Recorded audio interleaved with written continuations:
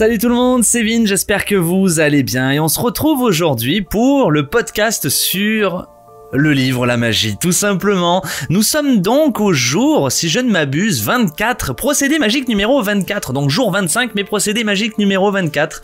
Et hier nous avions vu le procédé magique numéro 23 qui s'intitulait la baguette magique. Et on avait vu comment on pouvait, avec une petite baguette magique virtuelle, euh, améliorer la santé de quelqu'un, améliorer sa relation à l'argent ou carrément son bonheur avec l'aide d'une petite baguette magique et en se concentrant en éprouvant le plus de gratitude possible et surtout de la reconnaissance sur le fait que ben, c'est arrivé et que ça fonctionne. Et aujourd'hui, on va donc pratiquement terminé bientôt ces procédés magiques puisqu'il nous reste plus que 4 procédés magiques pour terminer une bonne fois pour toutes ce podcast qui est quand même relativement long je vous l'accorde mais qui est très intéressant.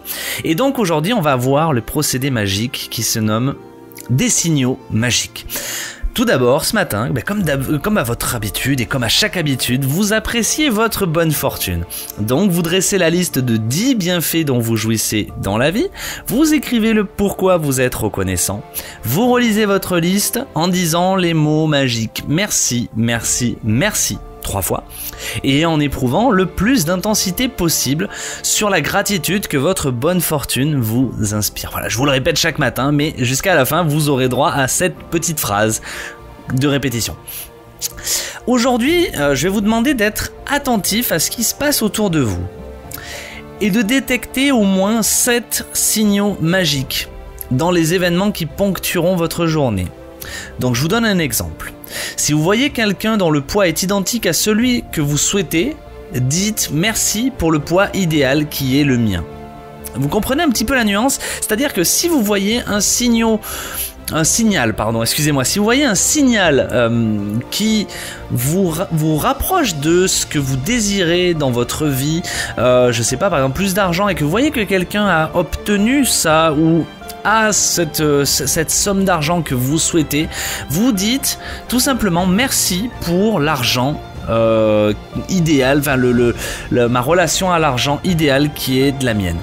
Euh, pour le poids, comme on vient de l'expliquer dans l'exemple, merci pour le poids idéal qui est le mien. Si vous voyez quelqu'un avec une relation qui vous inspire, que vous, vous enviez cette relation, faut prendre ça comme un signal magique. Et donc là, vous vous dites euh, dans votre tête, merci pour la relation idéale qui est la mienne tout simplement.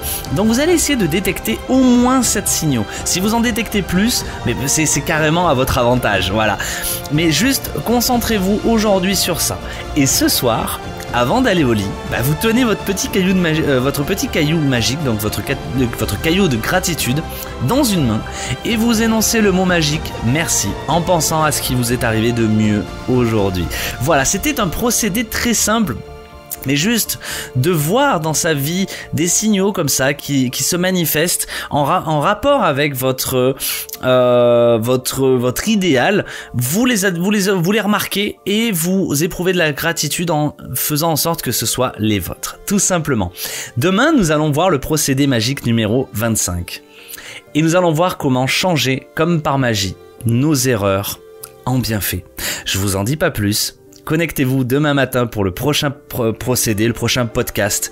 Et je vous fais en tout cas de très gros bisous. Merci de suivre ces podcasts. Ça me fait énormément plaisir. Merci à vous de le suivre également sur YouTube. On se retrouve demain pour le prochain, procédé magique. Je vous fais de gros bisous. Abonnez-vous si c'est pas déjà fait. Et c'était Vince. Bye